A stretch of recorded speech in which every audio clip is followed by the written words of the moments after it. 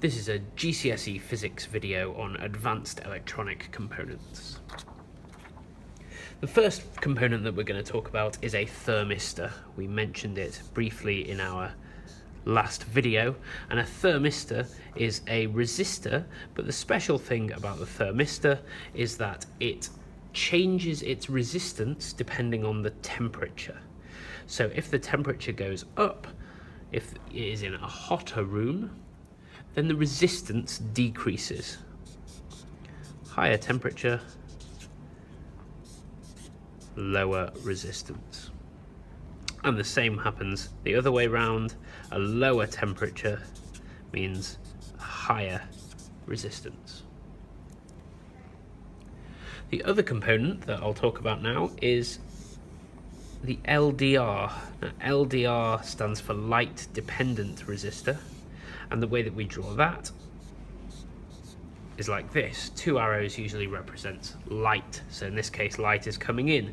And the LDR changes its resistance depending on how much light there is. So if the light intensity increases, then the resistance decreases. And if the light intensity decreases, then the resistance increases. Now we'll see what these two components can do in a circuit. First of all, we need to build a circuit which has two resistors in series like this. Then we take two contacts out here and here we have what we can call the input voltage or V in. And here we have an output voltage, which we can call V out. Now in this circuit, if we change this component to a thermistor, then what's happening now is that as the resistance changes here, because the temperature changes, V out is also going to change. So with, with your thermistor, as temperature increases, resistance decreases. If resistance decreases here, we know, because we know we've got a constant current and V equals IR, if resistance decreases, then voltage decreases. So as the temperature goes up, the resistance goes down and the voltage goes down. So V out gets smaller. This type of circuit is called a potential divider because it's dividing the potential difference across the two resistors. So as we've just said with this thermistor, as the temperature decreases, resistance increases. And when resistance increases, voltage increases. So as the temperature goes down in the room, this voltage gets bigger and bigger and bigger. So what you could do with this circuit is you could attach some sort of heater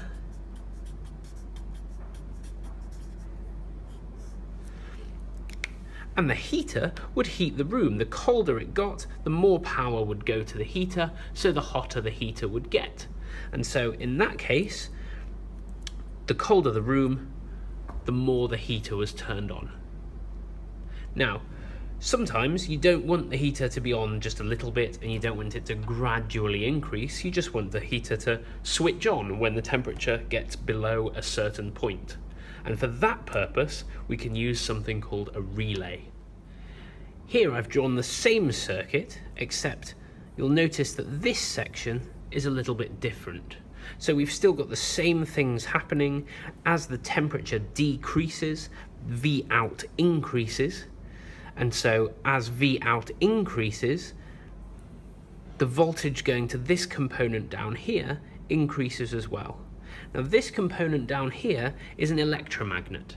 And that electromagnet is going to get, as you get more voltage going to the electromagnet, the field that it creates is going to get stronger and stronger, the magnetic field, and eventually it will be able to close that switch. And when that switch closes, electricity flows through this separate circuit and goes to the heater. The heater switches on. When the room heats up again and the resistance of this thermistor goes down, V out goes down, the electromagnet then gets weaker and weaker and weaker again, the switch pops back open, and the heater turns off. So in this kind of a circuit using a relay, we can actually switch a heater or an air conditioner or a street light on using different components, either thermistors here and here or LDRs here or here. And we can switch on and switch off secondary circuits instead of just having them gradually increasing or gradually decreasing like V out. So this section here is called the relay.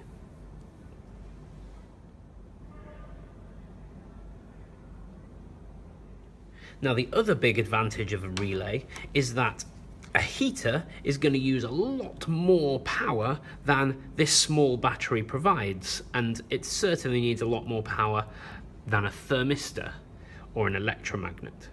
So what you can do, instead of using a battery here, you can connect this to a very big power source, maybe the mains electricity at 240 volts, and you can run your component on the 240 volts, but when that switch is open, you're not using a huge amount of electricity, you're only using the small amount of electricity over here. So you can power things and you can automatically switch things on with a relay, which need a lot higher voltage than you can supply to your relay. So you can split the power sources like that as well. Now there are two more components that I mentioned in the last video that we haven't talked about yet, and those were diodes and LEDs.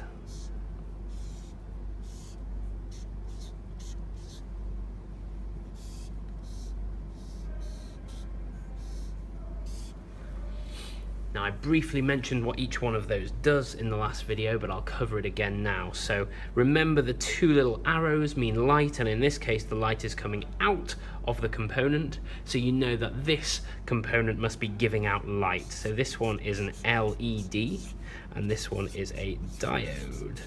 Now LED stands for light emitting diode, so it's just one of these that gives out light as well. Now the special thing about diodes is they only let current flow in one direction. Current can't flow back again. So that is useful for making sure that current is flowing in the right direction in your circuit, and we'll go into that in a little bit more detail now. Now you only need to know this use for diodes if you are studying triple IGCSE, um, but if you have an AC current, an alternating current like this, remember alternating current is going from positive to negative. And in the mains electricity, it's going, it's doing that about 50 times a second, 50 hertz. So if it's going from positive to negative 50 times a second, but then you put in a diode, diodes only let that current flow in one direction. So it can go this way, but it can't go this way. So you would end up with a current that looked like this.